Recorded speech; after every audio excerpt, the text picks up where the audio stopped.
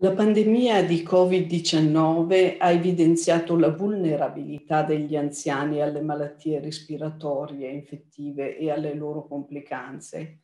È stato dimostrato chiaramente che gli individui con comorbidità sono più vulnerabili alle infezioni e sono più inclini a sviluppare complicanze gravi, quindi a rischio di ospedalizzazione, di perdita di autosufficienza e di morte.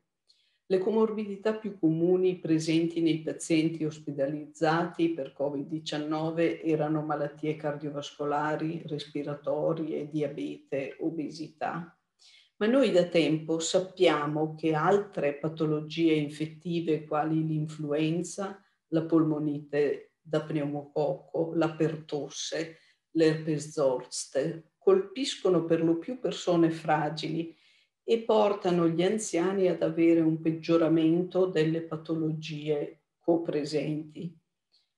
Tutte queste patologie sono prevenibili con le vaccinazioni e ci possono garantire quindi non solo la, evita, la possibilità di evitare queste malattie infettive, ma anche di mantenere una qualità di vita migliore. Quindi vacciniamoci, è un nostro diritto, serve a preservare la salute, la qualità di vita nostra e di chi ci sta vicino.